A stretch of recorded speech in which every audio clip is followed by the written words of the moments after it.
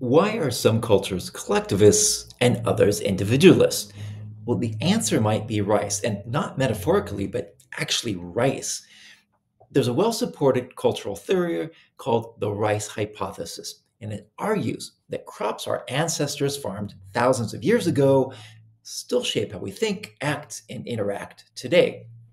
And here's why wet rice farming is brutal, labor intensive, it requires coordinated irrigation, synchronized planting, shared infrastructure. If your neighbor screws up the water system, your crops fail too. So, rice farming communities developed intense social monitoring, strong social norms, and mutual obligation. You had to operate collectively or everyone suffered. Wheat farming, different story. It depends on rainfall, not shared canals. Households can operate more independently. You succeed or fail on your own efforts.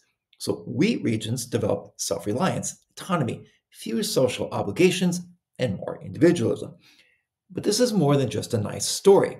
Cultural theorist Thomas Talhelm tested this within China. Same country, same government, same language, but rice regions versus wheat regions.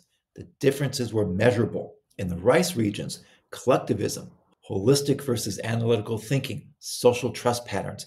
And these effects showed up in the urban population who'd never farmed a day in their lives. This matters because we tend to think of cultural differences as mysterious or moral, or they're just like that, or worse, we judge them. But the Rice hypothesis suggests that culture is structural. It emerges from external conditions. It's history we can actually trace. I write about frameworks like this on Substack at culturalperspective.com. Join us there.